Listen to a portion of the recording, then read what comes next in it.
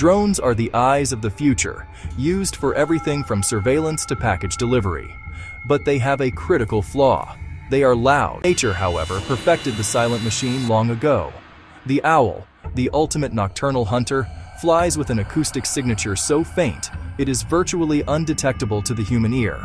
We are dissecting the genius of the owl's feathers to unlock a new generation of silent, energy-efficient drone technology.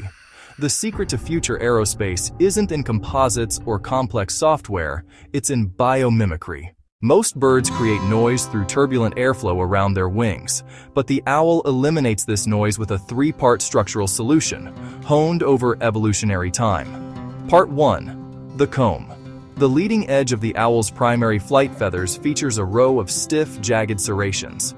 These act like a comb, breaking the main flow of air into a multitude of small, smooth streams.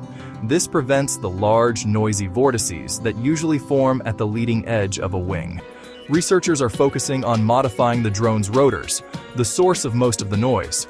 By applying owl-inspired serrations to the leading edge of the rotor blades, they can immediately break up that major noise source. The payoff is enormous. Initial tests using these bio-inspired blades show noise reductions of over 10 decibels, which the human ear perceives as cutting the sound in half. Silent flight opens up sensitive airspace.